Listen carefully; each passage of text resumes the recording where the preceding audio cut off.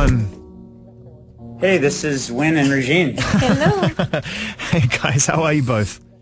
We're good. And what is it that's made this album just sound so perfect? I mean, the whole journey up to this point, no two albums have ever sounded the same from you, but this one does feel like it's kind of bringing a lot of the things that we love about the band into one very cohesive experience. Does that make sense as someone who's made it? I think earlier in the band, it was more led by energy and enthusiasm and feeling, and I think now it's like you can have a specific idea for a sound in your head and actually achieve it. Yeah, it's interesting. I mean, I was even thinking about it on stage the other night because it's like if you think of, of like a basketball team and there's different people with different levels of experience and like so Will's like the age that I was when Suburbs came out and so it's like you know it's like we're all kind of bringing different energy on this tour and it feels really the energy in the band feels really strong and really I've been really proud of the shows we've been playing. We're gonna we're gonna play this again. The song "Electric Blue." We had to kick off the show with it straight away because the vibe is so strong. Is it wrong for me to be able to pay my respects as a fan of, of you and also of them to Chris Frantz and Tina Weymouth and that whole kind of Tom Tom Club feel and the way that there's so much funk and groove to this, but also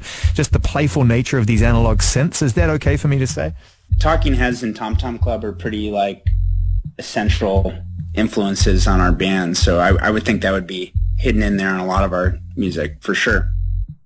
Blue from Arcade Fire back to back from an album called Everything Now, which is out July 28th. Was Thomas from Daft Punk involved in the production of that one? I know you've got a few people, Markus Dravs, Geoff Barrow, and Thomas amongst yourselves as primary producers of the record, but whose fingerprints are on that cut? I would say Steve and Thomas pretty equally. That one is was I mean it's recorded in in the Boombox Studio in New Orleans, which is our tiny. Like I just posted a picture on social media today of the room, and it's a pretty shockingly small room and pretty much everything in that track came from a a live jam. Everyone in the band has a really distinctive part, and that was one of the songs where everyone just had a part and it all kind of gelled together. It just feels like, um, you know, as with the rest of the album, that this is a dance record. There's a lot of groove in this record. There's a lot of kind of disco influence in this record. But also, as we've become used to with your band, you're definitely using the music to say something as well. Um, now that you've been living with the overarching theme of everything now, you know, what, what has has it changed for you? Is it changing as you're playing these songs live? As as the concept of of the album as a whole starting to evolve already? The other night, I remember even just a couple shows ago singing Wake Up and feeling the political context of a song like Wake Up in the current political climate in the U.S. It's amazing how just the times make you feel lyrics differently. And I mean, to me, like Rebellion and Wake Up feel way more overtly political than they ever did for singing them in 2004. I mean, kind of remind like Regine and I went and saw Radiohead play in New Orleans, and they played "No Surprises," which is like kind of like their poppy Beatles song. And there's like the lines like uh, "Bring down the government, that they don't speak, speak for us." us. Yeah. And the whole arena just like erupted in just like this like it was like the biggest cheer of the whole night and you wouldn't really think of that as a political anthem but the times have made it a made it a, it's true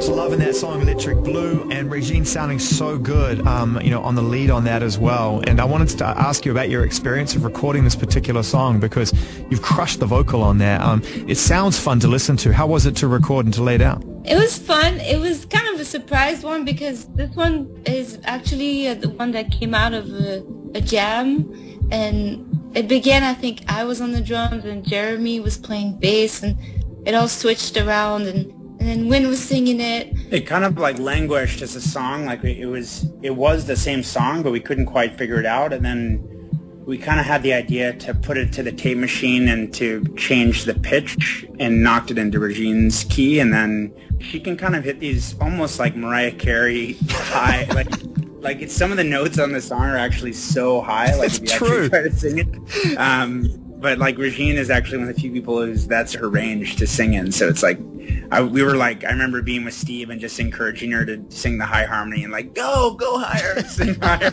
sing higher. Uh, which is which is kind of a little bit of a gift and a curse because now you have to sing it live as well. Everyone's like, yeah, but it's really high. Like I want to hear a lot of vocalists try and sing that. It's really high. I have to ask you, just in a playful nature, because I thought it was hilariously funny and I laughed out loud for about 60 seconds when I read the report um, of the new merch and the fact that you playfully, you know, referenced what was going on um, with, you know, the Tupac t-shirts with the Jenners and such and how you've done that as well. Um, and whose idea was that to do that? Uh, my legal team has has asked me to.